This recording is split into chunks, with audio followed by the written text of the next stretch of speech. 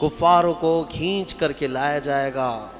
गिरोह दर गिरोह, पूरे जमातों के जमातें आएँगी। इनको खींच कर लाया जाएगा, दरवाज़े पर पहुँचेंगे। हती इदा जा ऊहा फतहत अबवाबुहा। जैसे ही ये लोग पहुँचेंगे, जहन्नम के दरवाज़े खोल दिए जाएँगे। खोल दिए जाएँगे। वक़ाल लहम ख़ज़नतुहा, और जहन्नम के जो दरबान फरिश्ते हैं, वो इनसे पूछेंगे, इन कुफ़ार से। अलम या अतिकुम रसुलुम मिनकुम यतलून अलैकुम आयाति रब्बिकुम क्या तुम्हारे पास कोई रसूल नहीं आए थे? जो तुम्हारे रब की आयतें तुम पर तिलावत करते थे? वयुन दिरुनकुम लिका यौमिकुम हादा? और वो रसूल आज के इस दिन से तुम्हें नहीं डराते थे? कोई आए थे या नहीं आए थे तुम्हारे ज़माने में? सवाल होगा उन लोगों से। तो फिर वो क्या कहेंगे जहन्नम के दरवाजे पर पहुंचकर? कालू, बला। कहेंगे, क्यों नहीं? हाँ आए तो थे, लेकिन इन्होंने झुटला दिया, मज़ाक किया अम्बिया के साथ। फिर उन पर अजाब जो है वाजिब हो गया और उन्हें कहा जाएगा कीलत खुलू अबवाब जहन्नम खालिदीन फ़ीहा। कहा जाएगा, जहन्नम में दाखिल हो जाओ हमेशा हमेश के लिए, हमेशा के लिए नॉन एंडिंग कभी ख़त्म नहीं होगा। वो सौ साल है कि हज़ार साल है कि लाख साल है कि करोड़ साल है, हम नहीं कह सकते। हमेशा हमेश के लिए दोजख में चले जाएँगे कुफ़ार फिर अल्लाह ताला आयतों में फरमाता है, वसीक़ल्लदीन तक़ौ जन्नति ज़ुमरा। फिर जो अल्लाह से डरते थे दुनिया में, मुत्तकियों की जमात, ईमान वालों की जमात, ये भी लाए जाएँगे जन्नत की तरफ़। ये भी जमात दर जमात आएँगे। हत्ता इदा जाऊहा व फतिहत अबवा हुआ जब ये मोमिन मोमिनीन दरवाजे पर पहुँचेंगे, जन्नत के दरवाजे खोल दिए जाएँगे। जन्नत की खुशबू 500 साल की मसाफत दूर से ही आ रही होगी, जन्नत की खुशबू। अभी 500 साल की मसाफत हो सकती है, इतनी दूर से जन्नत की खुशबू महसूस कर रहा होगा मोमिन। और जब वहाँ पहुँचा होगा तो फिर खुशबू का हाल क्या होगा? दरवाजे खोल दिए जाएँगे।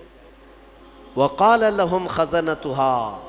और इनसे भी जन्नत के दरबान पूछेंगे, कहेंगे। जैसे दोजखियों को जो फरिश्ते हैं, वो बहुत सख्त फरिश्ते हैं। दोजख पर जो मामूर हैं, बहुत सख्त फरिश्ते हैं। दोजख के दरबान का नाम हज़रत मालिक है, जो दारोग दारोग दोजख उनको कहा जाता है। वैसे कई फरिश्ते मुकर्र हैं। उनमें जो सरदार फरिश्ते हैं, उनका नाम हज़रत मालिक है। वो सख्त किस्म के फरिश्ते होंगे। और फिर जन्नत के जो दरबान हैं, वो हज़रत रिजवान हैं। जन्नत के दारोगा फरिश्ते हैं, सरदार फरिश्ते जो हैं। जन्नत के सारे दरवाज़ों के उमूर जिनके हाथ में हैं, वो हज़रत रिजवान, वो भी फरिश्ते हैं। जब मोमिनीन वहाँ पहुँचेंगे, दरवाजे खोल दिए जाएँगे, इनसे भी वो दरबान फरिश्ते कहेंगे। क्या कहेंगे? वैसे नहीं। क्या तुम्हारे पास रसूल नहीं आए से? क्या तुम्हें आज के दिन से डराया नहीं गया था? बल्कि दरवाजे खोलते ही वो क्या कहेंगे? वक़ाल लहम ख़ज़नतहा सलाम अलैकुम। फरिश्ते कहेंगे, अल्लाह की सलामती हो तुम पर, आ जाओ। तिब तुम फद खलूहा खालिदीन। मुबारक हो तुम्हें, आओ अंदर हमेशा हमेश के लिए। जो जन्नत में जाएगा, वो भी हमेशा के लिए जाएगा। वमा हम बिखारी जी मिनहा। कोई भी जन्नत से निकाला नहीं जाएगा।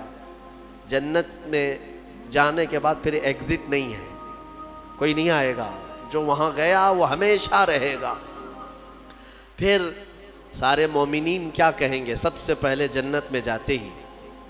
वक़ालू अल्हम्दुलिल्लाह। सब मोमिन कहेंगे, अल्हम्दुलिल्लाह। हमारे मौला का रब जलाल का, अल्लाह का शुक्र है, तमाम तारीफ़ें उसके लिए हैं। अल्लदी सदकना वादहू जिसने अपना वादा सच कर दिखाया हमें। हम उससे दुनिया में डरते थे और उसकी जजा में आज मौला ने हमें जन्नत अता कर दी। जन्नत क्या है मेरे अजीज़ों? आज तक उसको किसी आँख ने देखा नहीं, किसी कान ने। उसके मिसल कोई चीज़ सुनी नहीं। हाँ मुस्तफ़ा करीम सल्लल्लाहु अलैहि वसल्लम से जो हमने सुना है, जन्नत की नियामतें क्या हैं? वहाँ पर किस अंदाज से महल्लात तामीर हैं?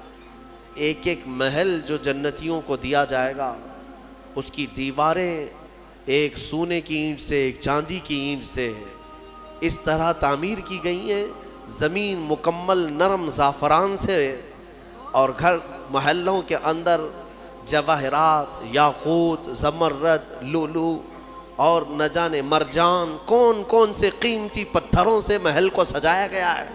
एक छोटे महल की बात कर रहा हूँ, फिर हर महल के अंदर नहर जारी होगी। जन्नात इन तजरीम इन तहती हल अनहार।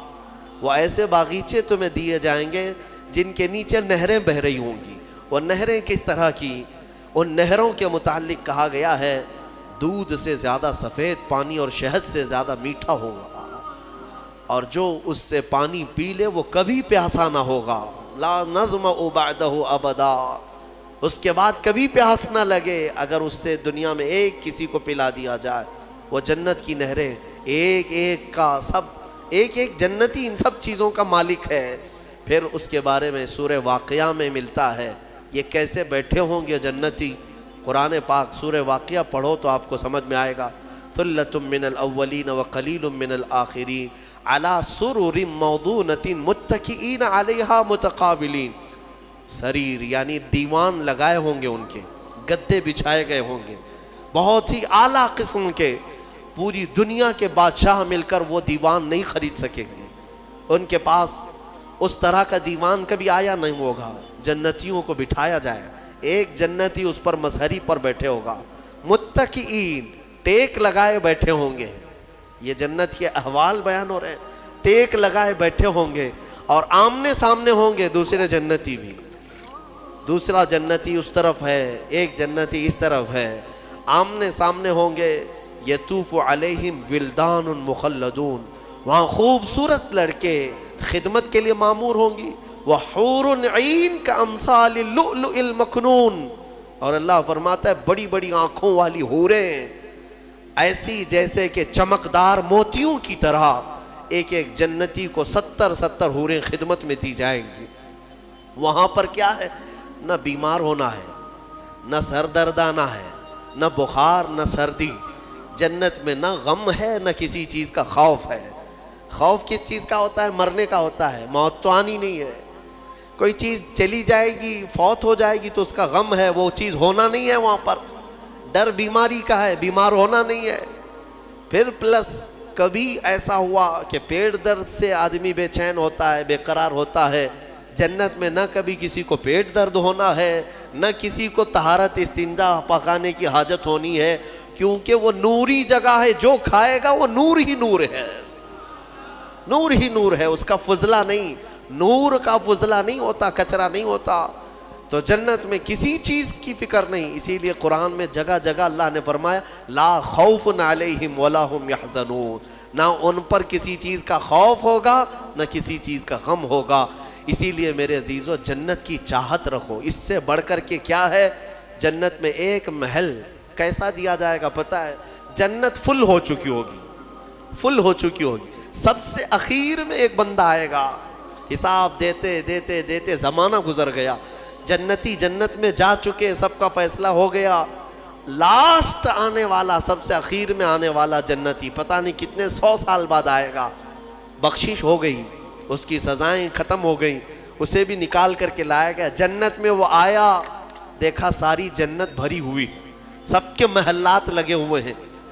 ज़ाहिर सी बात है एंट्रेंस पर सीधे ही आते ही बड़े बड़े महल्लात और सबके नाम लगे हुए हैं। ये हसरत से देखने लगा, मैं बहुत ताखिर से आया, मुझे जगह मिलेगी या नहीं मिलेगी? सबसे आखिर में आने वाला जन्नती। तो वो जन्नत में अंदर आएगा, रब तबारक ताला से पूछेगा कि, मौला, मेरी जगह है या नहीं जन्नत में? रब तबारक ताला फरमाता है, जन्नत में। उस बंदे से पूछता है, तेरी क्या ख्वाहिश है? जन्नत में ये महल्लात सबको जो दिए गए वो कितने बड़े होंगे, मैं अंदाज आपको बताता हूँ। उस बंदे से पूछा गया, वो बंदा कहता है, मेरे लिए कोई जगह है या नहीं? अल्लाह ताला फरमाता ए बंदे, तू दुनिया से आया, दुनिया में रहा, ज़मीन पर रहा, ज़िंदगी गुजारा, वहाँ से आया, अब तेरे लिए जन्नत हो गई। पूरी दुनिया जितनी बड़ी थी, क्या उतना बड़ा महल तुझे दे दूँ? जन्नत में उतना बड़ा एक महल तुझे दे दूँ? वो खुशी से मौला की बारगाह में उछलने लगा। मौला, इतना बड़ा महल? अगर इतनी बड़ी नेमत मुझे मिल जाए तो क्या कहने? रब ताला फरमाता, ए बंदे, क्या तू इस बात पर राज़ी है कि दुनिया के बराबर, दो दुनिया बराबर मैं एक महल दे दूँ? दुगना दुनिया जितनी बड़ी है, उससे बड़ी? वह बंदा खुशियों से झूमता जा रहा है। यहाँ तक कि रब ताला इजाफा करता जा रहा है।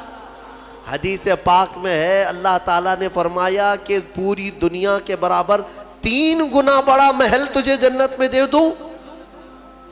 वो अश अश करने लगा, मौला, ये मेरी हैसियत से ज़्यादा है और तेरे फजल के लिए कोई चीज़ कमी नहीं है। फिर मौला तबारक ताला हुक्म देगा कि इस बंदे को जो दुनिया से आया, सबसे आखिर में आया पूरी दुनिया के बराबर तीन गुना बढ़ा करके इसे महल दिया जाए ये सबसे आखिर में आने वाले का है, जो शुरू में जा चुके होंगे, उनके महल्लात कितने बड़े होंगे। और जन्नत की वसात को तुम अंदाज़ा भी नहीं कर सकोगे। वो कितनी बड़ी है, कितनी चौड़ी है, न तुम्हारे कैलकुलेशन में आ सकेगा, न हिसाब में आ सकेगा। जन्नत को किस कदर फैलाया गया है? मेरे अजीज़ों, अब नियामतें ऐसी हैं कि अल्लाह ताला फरमाता है, जन्नती जब जन्नत में जाएँगे, कुल्लमा रुजिकु फ़ीहा मिन थमरत रिस्कन कालू हादल्लदी रुजिकना मिन कबल। जिस चीज़ की ख्वाहिश होगी ना, वो उनका खाना वहाँ सामने रखा होगा। फल खाने की ख्वाहिश, वो, जो खाने की ख्वाहिश करेंगे जन्नती, वो वहाँ पर खिदमतगार जन्नत में लाकर उनके सामने रख देंगे। और फरमाया गया कि हर बार एक ही किस्म के फल की तरह, शक्ल एक ही होगी। और मज़े अलग अलग होंगे। एक ही चीज़ लाई जा रही है। तो जन्नती, हो सकता है, आपने सेब खाने की ख्वाहिश की, लाया गया। बाद में केला खाने की ख्वाहिश की गई, फिर वैसे ही सेब की तरह ही शक्ल लाई गई। फिर बाद में आपको गोश्त खाने की ख्वाहिश हुई, तब भी सेब की तरह ही चीज़ लाई गई। तो जन्नती कहेंगे कि ये क्या है? जब जब हमें रिस्क दिया जा रहा है, एक ही तरह का दिया जा रहा है। तो रब तबारक ताला कुरान में फरमाता है कुल्लमा रोजिको मिनहा मिन समरत रिस्कन कालू हादल्लदी रुजिकना मिन कबल। कहेंगे, वो ऐसा ही हमको इससे पहले भी मिला था। अल्लाह फरमाएगा, वो ऐसा नहीं है। वो उतु मुतशाबी हा बल्कि उससे मिलता जुलता है। लेकिन तुम खाओ, जो तुम्हारे मन में लज्जत चाहिए, वो इसी में मिल जाएगी।